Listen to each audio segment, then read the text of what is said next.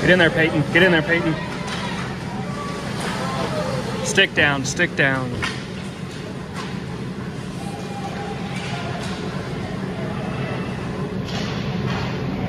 Don't let up.